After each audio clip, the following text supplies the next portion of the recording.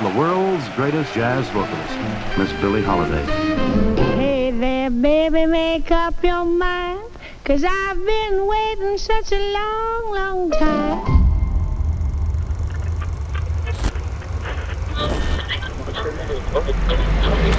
Everybody professed to know her. They knew nothing about her.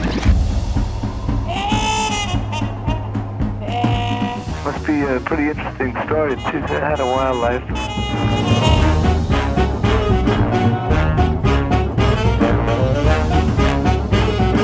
No innovator was like her. Nobody. Beautiful soul that she could only express it by singing. Encore after encore. Without even trying, she was the great lady of all time. Billie, why so many jazz greats seem to die so early?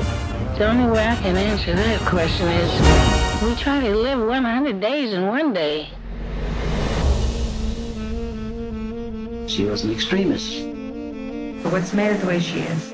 Everybody wanted something out of her. No vocalist that ever went through what she went through. Strange Fruit. It was a shocking piece of material. They used to have riots when she sang that in New York. Exposing discrimination. She put it on stage. She just told her own story just by being herself. She would make music that was unprecedented. All she wanted to do was sing.